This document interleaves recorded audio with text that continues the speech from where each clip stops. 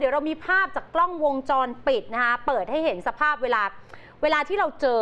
สุนัขดุๆเจอหมาดุอะคคุรัณบบางทีเรากลัวมาก เราก็ฮะจะวิ่งหนีเตลิดเปิดเปิงบังเอิญว่าจังหวะที่หมาสองตัวซึ่งมันดุมากแล้วไล่กัดชาวบ้านเนี่ยทำให้นะคะชายรายนี้เขาวิ่งไปกลางถนนหนีหมาไง ครับ ก็ไปเจอรถมอเตอร์ไซค์ชน ทั้งรถทั้งคนประสบอุบัติเหตุค่ะ ส่วนหมาก็หนีเข้าไปในบริษัทแห่งหนึ่ง ตอนนี้ตามหาคนรับผิดชอบไม่ได้เลยนะ ครับ ไปดูภาพกันก่อนนะคุณผู้ชม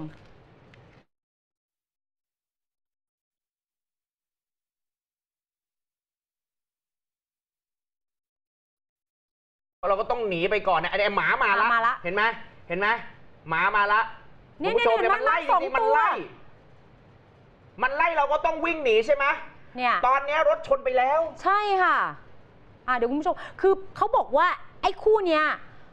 มันดุจริงๆ คุณเห็นไหมครับมาจากมาจากซอยตัวหนึ่งวิ่งมาฮะและไอ้ตัวนี้สมทบเห็นไหมครับสองตัววิ่งไปพี่เขาก็เลยต้องแบบวิ่งพอวิ่งหนีไปเจอมอเตอร์ไซค์ฮะถูกชน มันเป็นขาใหญ่คุณผู้ชมเห็นไหม อ่ามันมากันเป็นคู่ ใช่เสร็จปุ๊บพี่วิ่งไปกลางถนน ถูกชนคงเสียงดังมาก อืม เพราะหมาเนี่ยนะฮะยูเทิร์นกลับเลย ใช่ เพราะหมามันตกใจเสียงรถชนคนไง ใช่ค่ะ เป็นภาพนะคะบันทึกเหตุการณ์ช่วงนาทีที่เกิดอุบัติเหตุที่เราเล่าให้ฟังเนี่ยแหละค่ะ มอเตอร์ไซค์ชนกับคนเดินเท้าได้รับบาดเจ็บทั้งคนเดินเท้าทั้งมอเตอร์ไซค์เหตุการณ์เกิดขึ้นช่วงกลางดึกของวันที่ 25 กันยายน ภาพของผู้ชายคนหนึ่งได้รับบาดเจ็บนะคะ นั่งซ้อนมอเตอร์ไซค์มากับเพื่อน ก่อนจะลงจากรถบริเวณริมถนนจากนั้นมอเตอร์ไซค์สอง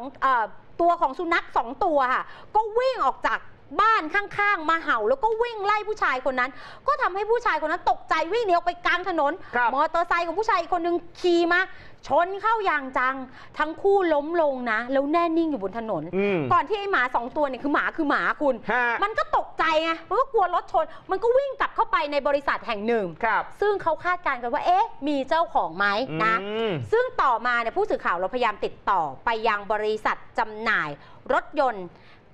ที่หมามันวิ่งกลับเข้าไปเพื่อสอบถาม แต่พนักงานของบริษัทก็ปฏิเสธที่จะให้ข้อมูลโดยอ้างว่า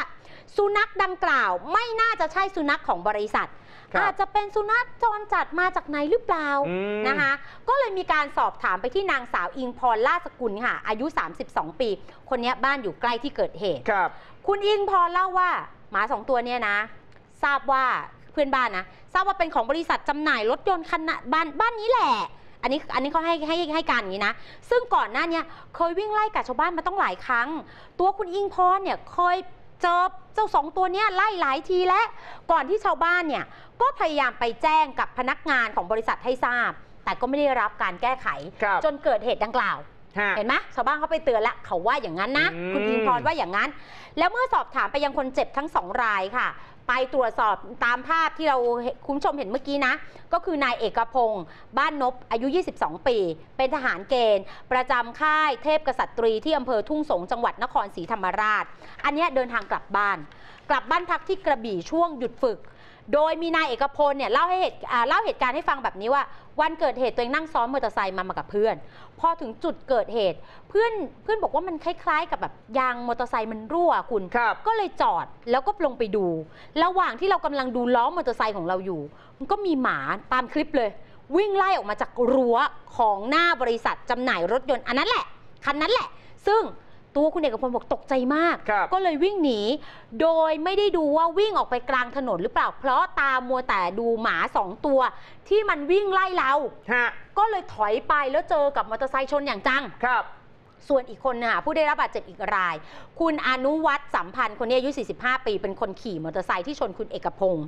คุณอนุวัฒน์เนี่ยนอนรักษาตัวอยู่ที่บ้านพักนะ ได้รับบาดเจ็บที่ศีรษะ แล้วมีเลือดข้างในตาด้วย นักข่าวเราก็ไปถามค่ะ ถามจนทราบความว่าก่อนเกิดเหตุเนี่ย คุณอนุวัฒน์เนี่ย กำลังขี่มอเตอร์ไซค์กลับบ้าน ระหว่างทางเจอผู้ชายคนนี้วิ่งออกมาบนถนนในระยะกระชั้นชิด ก็ชนอย่างจัง ตัวเองก็ล้มลงไปหัวกระแทกพื้นสลบ มารู้ตัวอีกทีว่าต้นเหตุ เอ้า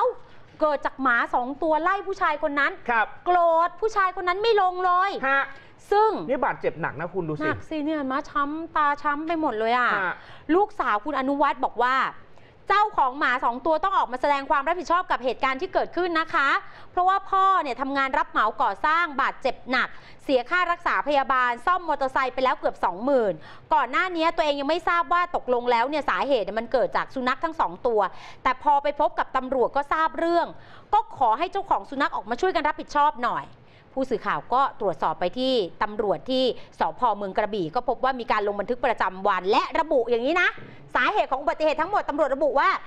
เกิดจากสุนัขไล่กัด ซึ่งเป็นสุนัขในบริษัทดังกล่าว ซึ่งได้มีการประสานให้มาเจรจากันอีกครั้งครับบอกว่าเป็นสุนัขในบริษัทนะ อืม แต่ไม่ได้บอกว่าเจ้าของเป็นใคร คือถ้าอย่างเงี้ยรู้เจ้าของเนี่ยเราคงให้หมารับผิดชอบไม่ได้ ไม่ได้คนที่ต้องรับผิดชอบคือเจ้าของฮะตามกฎหมาย ใช่ แล้วก็ถ้ารู้ว่าหมาดุแบบเนี้ยก็ขังเอาไว้ อย่ามาปล่อยถูก เพ่นพ่านแบบเนี้ยเพราะว่าชาวบ้านแถวนั้นบอกไม่ใช่กรณีแรกนะ มันก็ไล่กดกัดคนไปเรื่อย ถูก ขอบคุณที่ติดตามรับชม TNN ช่อง 16 ค่ะ อย่าลืมกด subscribe และกระดิ่ง ติดดาวกันเอาไว้ เรายังมีวิดีโอที่น่าสนใจอื่น ๆ อีกเพียบไปหมดเลย แต่ถ้าเกิดว่าคุณผู้ชมอยากจะ รับชมกันแบบสดๆ อย่าลืมเข้าไปที่ Facebook TNN Live หรือง่ายกว่านั้นติดตามได้ทุกช่องทางจากลิงก์ใต้วิดีโอนี้ค่ะ